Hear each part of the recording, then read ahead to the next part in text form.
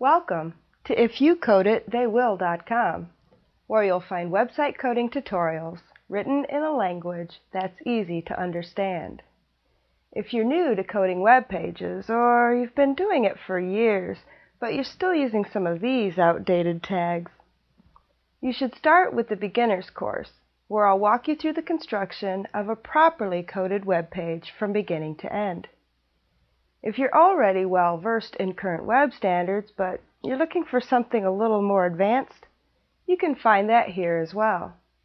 Just browse to the categories, try out the site search, and if you don't find what you're looking for, don't ever be afraid to ask. That's what I'm here for.